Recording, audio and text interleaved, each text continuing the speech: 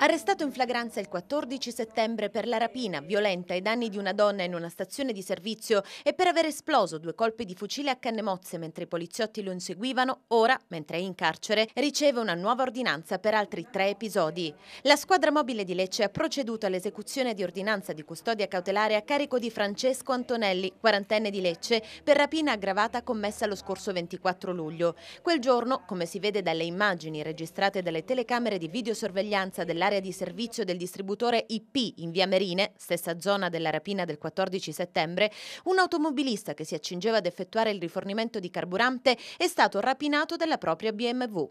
Il rapinatore è arrivato a piedi, con sé aveva un trolley e indossava una felpa con cappuccio. Dalle riprese i tratti somatici si notano ed è stato riconosciuto dai poliziotti. E ancora, un altro episodio è stato denunciato da un automobilista. Il 6 agosto un individuo gli si era avvicinato nei pressi di Torre del Parco e con una scusa scusa aveva tentato di entrare in auto brandendo un coltello da cucina. Non solo, la stessa sera un altro uomo è partito a tutta velocità notando il soggetto che con fare minaccioso gli si era avvicinato sempre nella stessa zona. Le caratteristiche somatiche di Antonelli coincidevano con quelle dell'autore della rapina di luglio. Alto 1,80 m, calvo, abitava in una traversa di via Merine a poche centinaia di metri dal distributore teatro della rapina.